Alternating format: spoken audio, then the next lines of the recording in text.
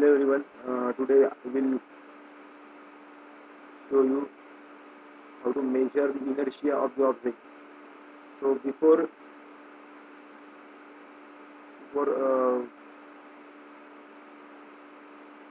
measuring the inertia, uh, we will first uh, apply the material once again. Suppose uh, we will again apply that steel material and then from the measure toolbar uh, click on measure inertia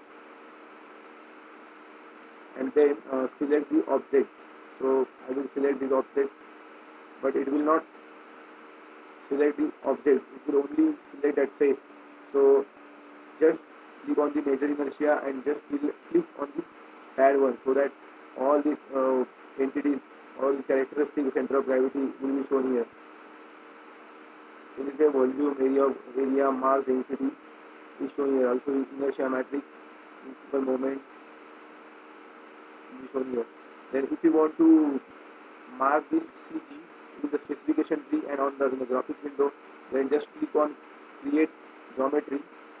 Just create on a non-associative geometry and then center of gravity, click on center of gravity. Then click OK. And then again click OK.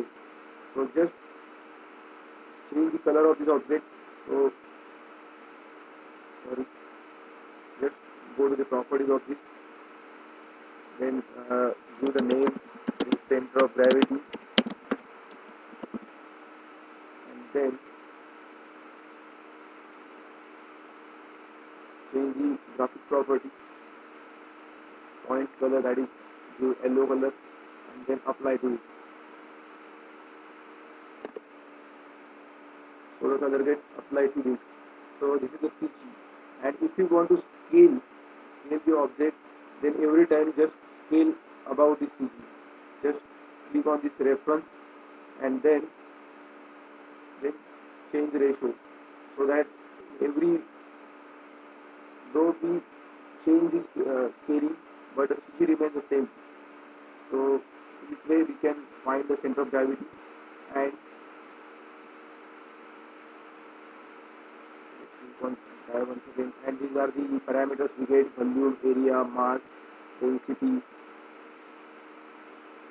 okay so thank you for watching